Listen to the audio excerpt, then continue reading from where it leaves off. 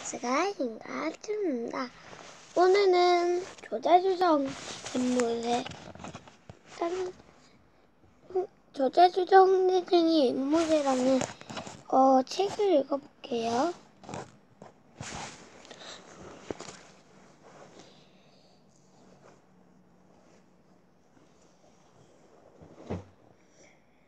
쉿!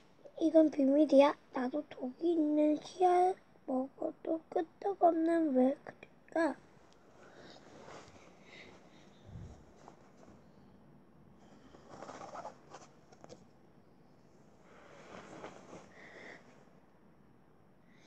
우리들은 앵무 앵무해. 알록알록 알록알록 고민 깃털 파닥파닥 조잘조잘 고운 목소리. 노래하는 우- 우리 친구들 이야기 좀 물래, 들어볼래?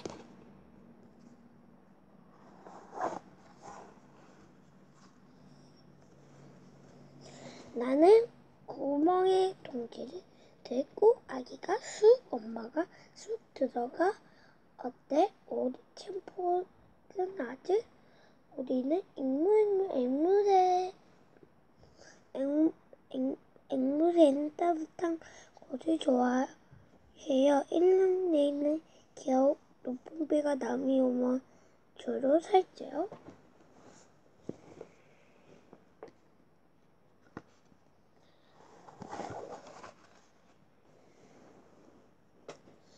우리는 앵무앵무 앵무새 부위가 튼튼해서 딱딱한 씨앗도 오독오독 오도독 먹일 수 있어. 어때? 우리 참 부럽지?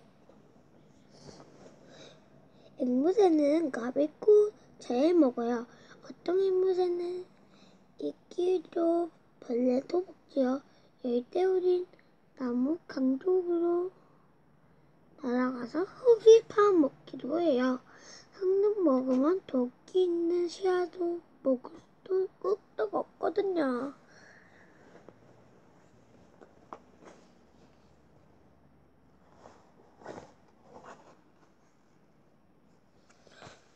우리는 앵무앵무 앵무새 부리도 깃털을 다듬어서 알록알록 고운 깃털을 반질반질 어때? 우리 참 예쁘지?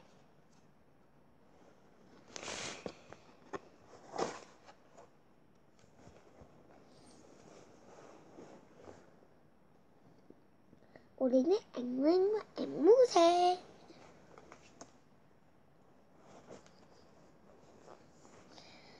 지젤 지젤 종, 정말정말 사람들의 말을 따라할 수 있어 어때? 우리 참 신기하지? 사람들이 앵무앵무 이문도부를 많이 걸어요. 많이 걸어요. 많이 가르치면 신기하게 따라하거든요. 하지만 앵무생도 흉내내는 말을 치지 몰라요. 그게 그제 흉내만 내는 거죠.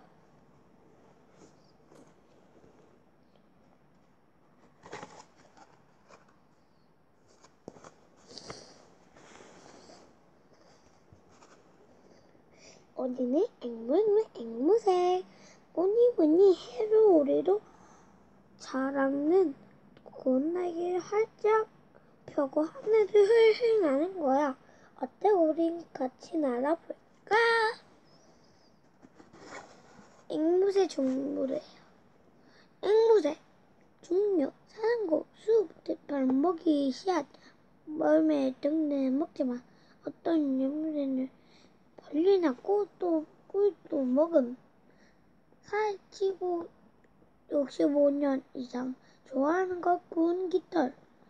다듬이 딱딱한 열매를 얻으듯 자랑거리 사람들의 혼내말. 오늘날 앵무새 친구들.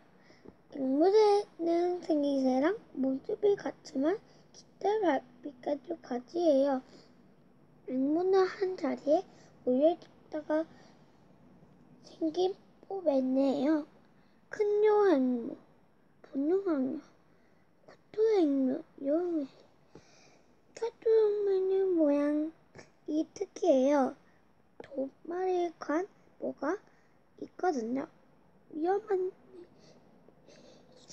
면이기나 누군가 달려가러 갈때 마주 움직이고 굴박굴박 부리를 지어 다니고 아립 나오면 암수광의 큰 용류를 붙는 코가 뚫린 종류 여러 종류가 있지만 눈은 아스, 오스크레이에 많아요.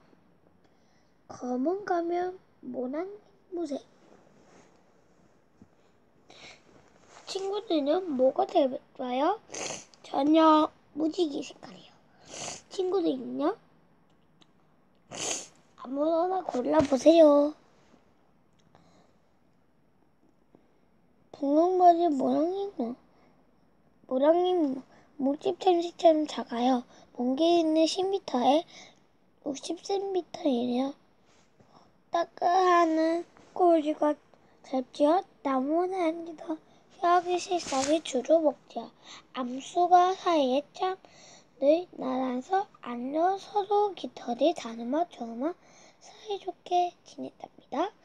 검은 걸로 분홍 머리를 앵무 등모로 종류가 있으면 아프리카에 여럿 모여 살아요.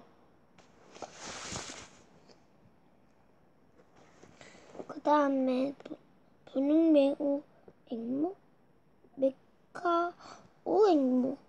메카오 앵무는 깃털 빛깔이 아주 작고 아름답고 좋아요.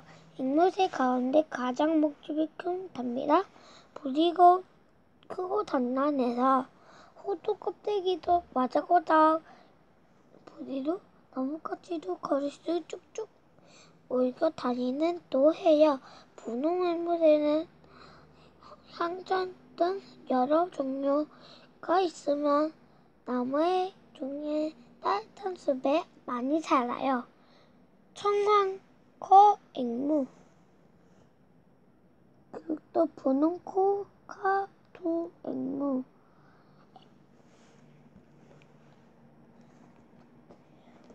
오늘은 어, 조선시대 훈제쟁이 앵무새라는 이야기를 읽어봤는데 어땠어요? 재밌나요? 그럼 뭐 다음에 또 봐요. 안녕. 더 읽어줄까요?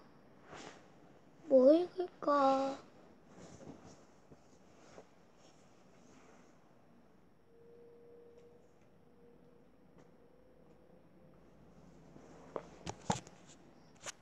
저는요, 이거 읽어볼게요.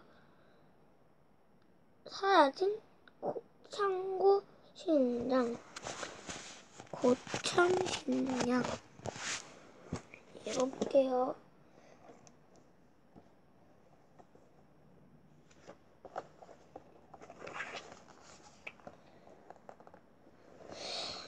숲속에서 도, 도착한 다솔이가 친구들 나르라 밤을 옮겨 담아 얘들아 너희들을 위해 밤을 좀 남겨두렴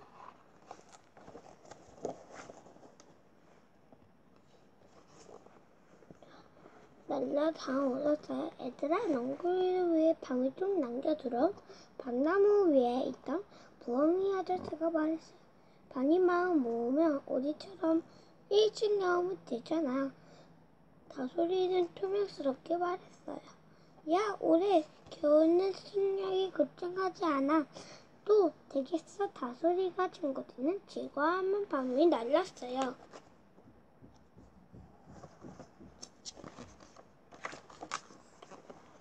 가을이 큰 보여 어느 날이었어요. 아침부터 하늘이 어둡더니 비가 오기 시작했어요. 우르릉 쾅 청둥이 치고 번개도 번쩍 벌었어요.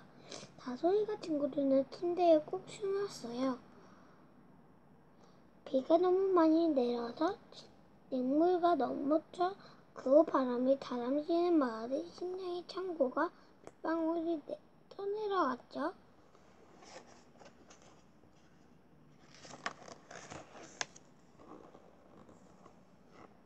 다음 마치 밤새 내리던 비가 그쳤어요. 다솔이가 친구들은 밖으로 나가 보니 보았어요. 야 비가 그쳤네. 식량 창고가 괜찮을까? 다솔이는 식량창고가 걱정되었어요. 그래서 친구들과 서둘러 식량창고로 가보았어요. 그런데 이게 어쩐 때일까요? 어? 식량창고가 어디로 간 거지? 이리저리 들렀던 다솔이는 깜짝 놀랐어요. 식량창고가 바로 너구리네 마을에 있었기 때문이에요.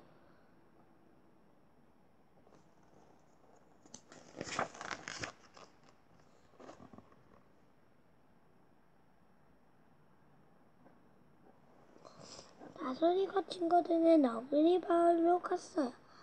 너희들한테 우리 실력의 창고를 가져갔지? 아니야, 어제 비가 와서 이곳으로 떠내려온 거야. 흥, 욕심부러기 밤에 모은다니. 너들이 투명스럽게 말했어요. 맞아, 맞아. 다른 너구리들을 정말 고쳤어요.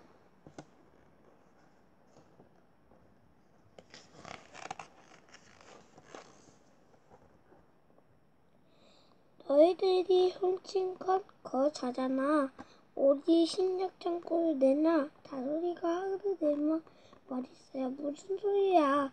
우리 훔치지 않았어. 너희도 이큰 소리로 말했어요. 저건 우리 신경 창고니까 절대 손대지 마. 하고 난 다솔이를 말했어요. 알겠어. 그러면 여기 땅이니까 절대 들어오지 마.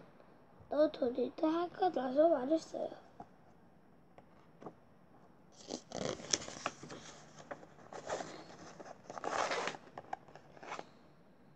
다람쥐가 여고에는 인하지 않고 매일 싸우기만 했어요. 이심, 이심쟁이 너구리들이라 우리 신략대나 이 욕심쟁이 다람쥐야 우리 식당 밟지 마. 그러자 동안초 거일이 찾아왔어요. 너, 너구리들 땅은 밟지 못하게 된 다람쥐는 너구리도 다람쥐의 신경에 손댈 수가 없었어요. 너구리도 다람쥐를 수가 없었어요. 다람쥐가 너구리들은 뭔가 배가 볶았어요.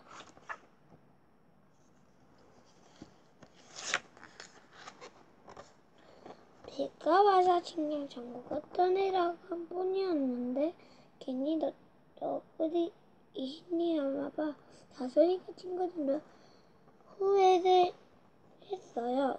우리가 먼저 너구리 마을로 가서 사과하자. 다솔이가 웃으며 말했어요. 그래 그래. 다솔이는 친구들께 함께 너구리 마을로 떠났어요.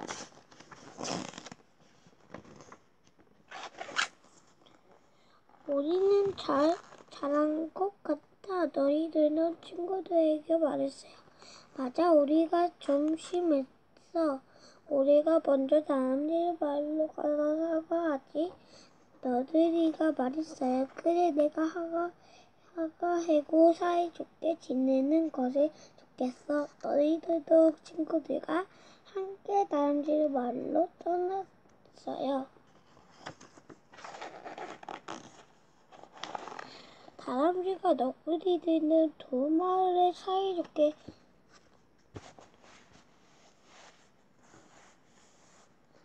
사이 좋게 다람쥐가 너구리 마을을 사이좋게 만나서 대했었어요. 너희들이 사과하러 갔던 일이었어.